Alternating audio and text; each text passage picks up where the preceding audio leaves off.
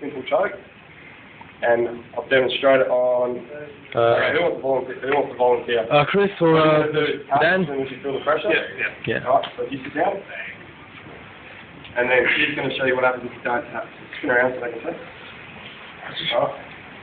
You will be pulling a funny face, so this is on camera. No worries. Alright, Ching. sure. I'll- So you want to do is you get your hooks in, so you control where they go. You got your harness, your head down. For this choke, you want your elbow directly under their chin. They come across like that.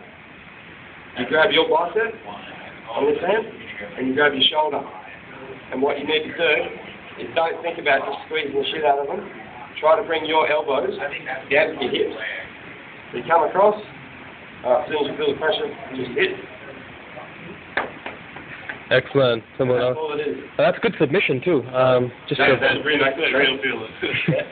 so now I'll show you what happens if you don't count. Wait, wait, so Wait, what? I'm not going to pass you out. That's fine. She's going to pass me out. Come here. Blood pressure will rise to his brain. Yep. That's it. And make sure oh, you don't cut the windpipe. You actually Sideways. Oh, yeah, yeah, yeah, yeah. The bone is in front to protect you. That's all it is. All right, so sit down, get your hooks. Hooked in. Hooked position. How to do it? Alright, let me speak first. The harness. Uh, Alright, so basically this joke works by cutting off your carotid arteries. That stops the blood going to your head. And what happens is when your brain starts to realise there's no blood coming to your head, it stops pushing all the blood to your body and just focuses on pushing it to your head. And when that can't happen, it completely shuts down. What happens is you black out. As soon as they let go, what happens is there's a two or three second gap, and then the blood starts to furiously pump up, back up to your head and get you conscious again. So what I'm going to do is I'm going to leave my arm in the air, let her choke me. As soon as my arm drops, that means that it's already stopped pushing to my head, and it's going to be about half a second before passing me out. So as soon as my arm drops, you let go. Alright?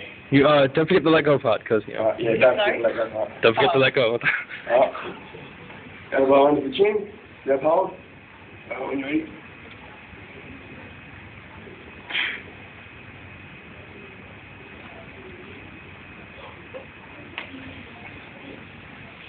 And that's what happened.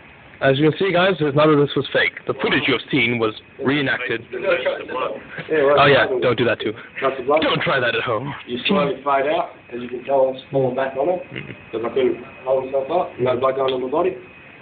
And then you pass out. And it's not fun. Can this be done quickly, you think, or Uh, is it yeah. more? Okay. Yeah, I, like I more pressure. in two and a half seconds. Well, there we go. Uh, and I was seeing people choke out in 30. Thirty. Oh, yeah, that's because Yeah, it most just people have depends on- gradually.